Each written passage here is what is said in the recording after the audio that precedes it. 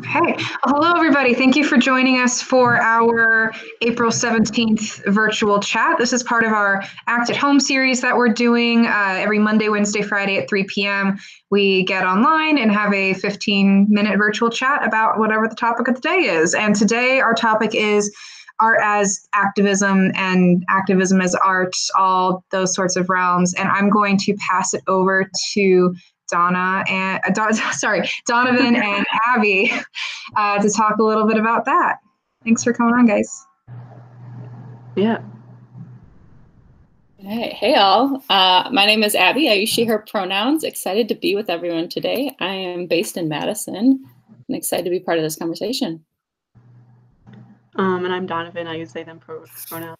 I'm in Milwaukee and I'll pass it back to Abby to start, I think. we have some slides together, so give me just a moment while I move to presenter here. Right. How does that look, folks? Looks good. All right. So again, we are going to spend a few minutes today talking about art activism, uh, sharing a little bit about um, ourselves in this work and some messages we feel like are important when talking about our activism and collaborative art making. Uh, and then we are going to end with a collaborative activity as is appropriate when we are speaking of the importance of doing collective art making together. So here we go. Uh, so we kind of wanted to talk um, about art activism uh, as more than just the piece or the project that we often see, that end result, um, visual, dance, whatever art form is um, being shared, that there is more beyond that. There's more to this collaborative process. There's more um, that we are working towards, and um, where that empowerment lies beyond just uh, what has been made together. Donovan, anything to add to that? Yeah, so here we have some pictures of just art that has been used in activism um, and in movements. Um, a picture of an AIDS It's a way for people to come together and um, have a memorial for people who had died from AIDS. Um, of course, the We Can Do It, uh, Rosie the Riveter image that's um, kind of been pretty popular since it was made slash made a comeback. Um, and then also a picture from the Unapologetically Brown series, um, which is just like a public street art series that centers queer people of color. Um, and all of these like are just like sort of illustrating the spectrum of artist activism as we see it. And then a, one more example, maybe a couple more examples.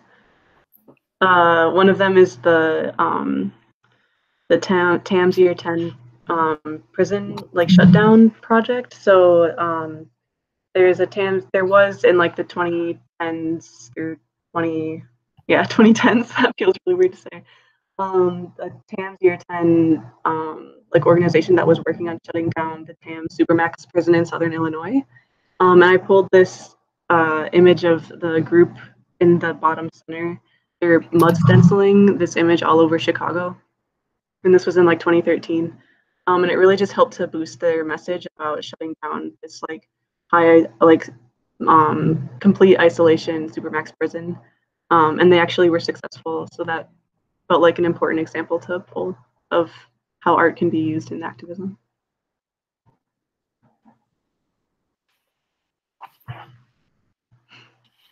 Yeah, so in addition to these different uh, projects and pieces that have come together, um, and people are being we're, we haven't even covered a tiny tiny fraction of the kind of art um, and art activism that people have been doing all people have been doing for like forever in time. So just to acknowledge that that there are so many different forms of art and so many different um, messages and stories being told through art throughout time. Um, and we kind of wanted to pivot and say again that it's not just about what has been created and some things that have stayed with us through time because of um, because they are something that we can see or that we can hear or look back on, but that the process um, what people have done by coming together to make in the lower left hand corner is the peace wall in Belfast coming together. Um, at the top of this slide is an image from Sierra Club. Uh, hope I have the rights to use that in this PowerPoint um, of young people coming together to create. Um, and in any of these projects that are collaborative, that are, are telling collective stories, that the empowerment and the um, the work that's being done is again not just the product but this effort of people coming together to understand each other to share um, and to kind of reinforce that sense of we over i in these spaces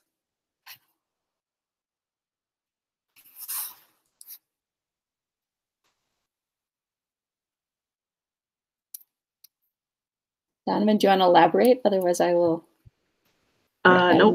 Good. All right. I'm going to stop screen sharing then. Make this a little less formal and see everyone's faces. And we'd like to invite everyone now to join us um, in a very quick exercise of collaborative art making inspired by um, quilts and quilt making that takes a lot of different pieces uh, and historically has been used to represent lots of different backgrounds and stories coming together, stitching together as, as one collective voice. So I'm going to drop a link in the chat, and I believe this will be shared out as well if you're viewing this after um, our live session. Uh, but those on the call with us today can open this up.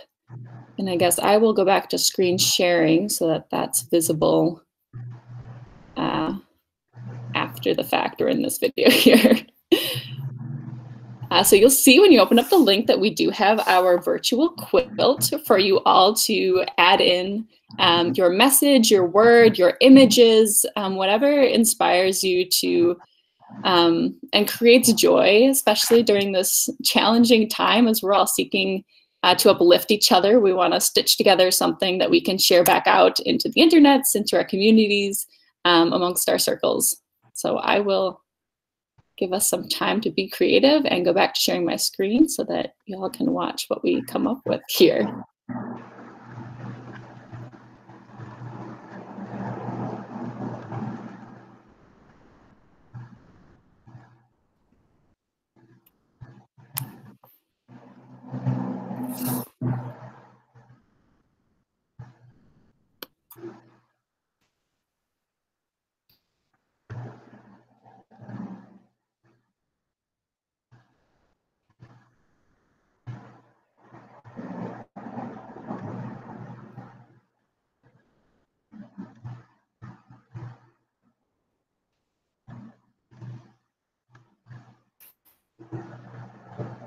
Oh my gosh, love the cat.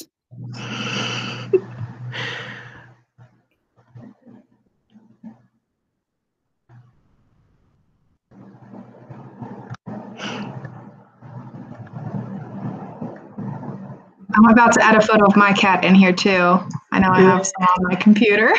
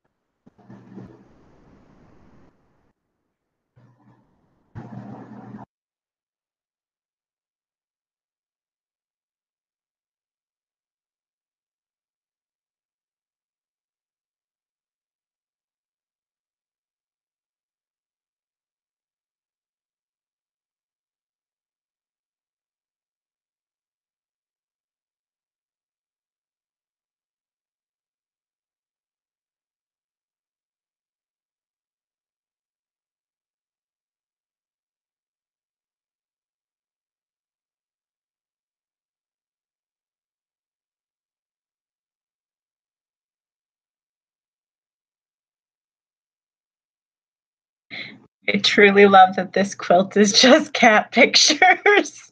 I was thinking the same thing. So many cats. Just had to get some dog lovers on here too to add their own photos.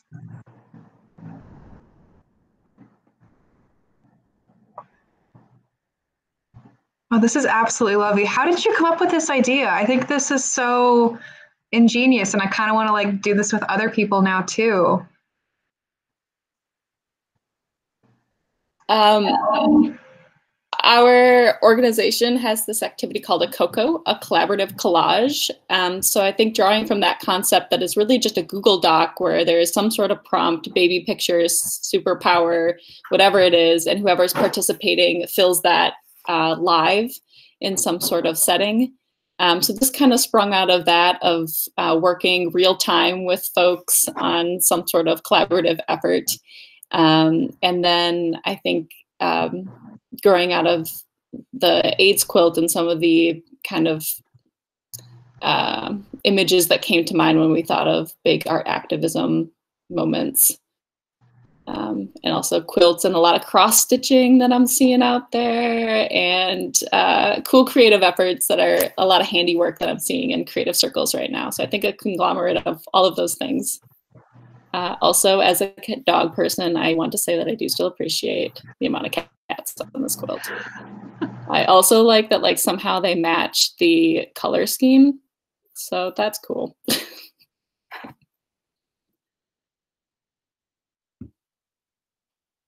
They really do. Um, yeah, I will be sure that this link gets included when we share this video out so that if people who who watch this later want to contribute they can, or even just use this as inspiration to start their own collaborative quilts, because I really do think this is so creative and cool, and I've had fun working on this. Um, but do you guys have any last remarks? Otherwise, I will stop the recording and we can go to more Q and A.